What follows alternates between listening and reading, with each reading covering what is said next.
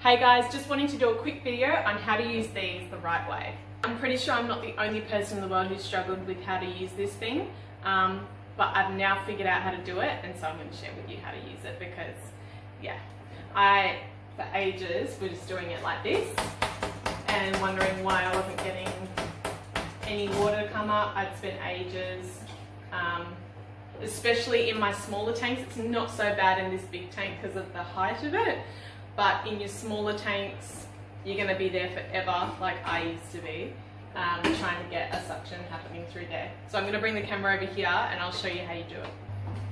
Alright, so you want to fill it up like that. So I've got a bit of water in there. Um, you want to let the water come to about here. So it's running through and then slowly go like that.